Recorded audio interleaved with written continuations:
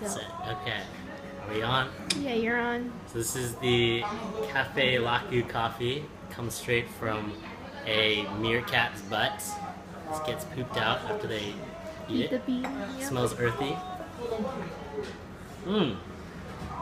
Mmm. Yeah. What does it taste like? Tastes like. Tastes a little nutty. Tastes uh, it's a little bitter actually. It's just kind of straight black. Would you drink it again? Yeah, I mean it's like fifty dollars worth of coffee right here, so it's got to be good, right? Uh, delicious. I buy it every single day. I love it. If you had fifty dollars every day. Yeah.